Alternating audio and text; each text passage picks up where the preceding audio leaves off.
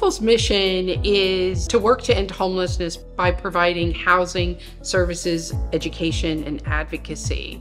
We like to think of it as an organization that is about serving people all along the continuum of care. When we think about supportive services, services can be some basic human needs being met and those needs are making sure that they have food, housing, and support services. And then in addition to that, it could be much more complex. It could be assistance to get behavioral health, helping somebody through addiction, through domestic violence. It's also about gaining more and more independence. The fact that people can move out of permanent supportive housing or move into housing with less supports We've always thought of ourselves first and foremost as a service provider. Then you think about the housing and the other things that, that go with it. But first and foremost, I think the most critical piece to anything we do is services. The process for people to enter into permanent supportive housing is really reliant on a system. And the system starts with first off, were we able to do everything we could to prevent them from becoming homeless in the first place?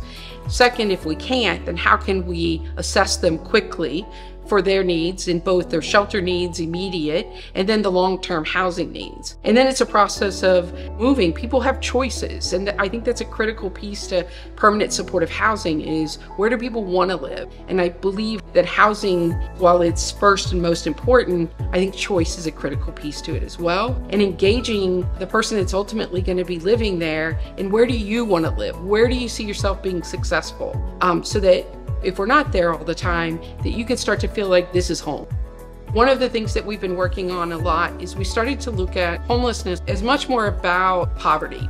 And so we started to really expand to look past just creating housing, maintaining housing, finding appropriate housing, to let's start to talk about those barriers that exist when you live in poverty and really start to do what we think we do best, which is to serve people and to be creative with solutions. And part of that is we don't look at ourselves as a geographic organization. We are only in Dayton. It was where is the community that can partner with us to do what we do to end homelessness. And that was really what brought us to Columbus. It was an opportunity for us to partner with such an innovative community and one of the leaders in the nations really addressing food access and food insecurity.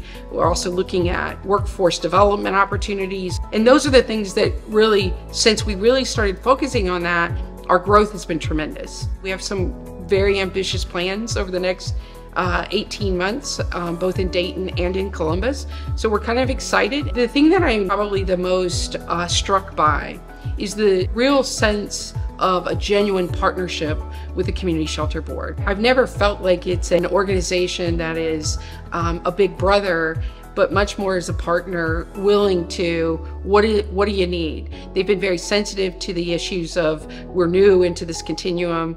We're learning it. We come with ideas and we're bringing each other along and building us up as we go. So for us this award means a lot. You know we're new. I say new. It's we're we're three to four years into to the columbus area. For us to be recognized already as a as a strong advocate feels like we're doing something right and something that we're really proud of